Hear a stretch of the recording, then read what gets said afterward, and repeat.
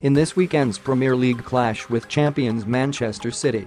The Spaniard, who played under Gunners boss Unai Emery at Sevilla, was signed on loan from Barcelona on deadline day until the end of the season. He could slot straight into the middle of Arsenal's midfield, or alternatively be played out right on the wing, where he used to feature for Emery in Spain. The Gunners remain short at the back, having suffered something of an injury crisis in recent weeks, but will no doubt line up with Bernd Leno in goal.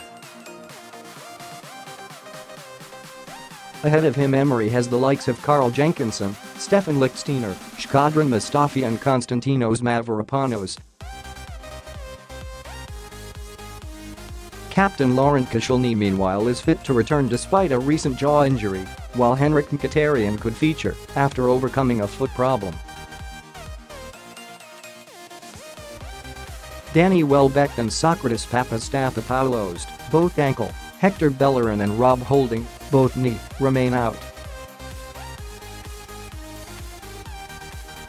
Provisional squad, Leno, Cech, Jenkinson, Lichtsteiner, Koscielny, Mustafi, Mavropanos, Monreal, Kolasinac, Maitland Niles, Xhaka, Elneny, Torreira, Guendouzi, Ramsey, Iwobi, Ozil, Suarez, Lacazette, Aubameyang, Nketiah.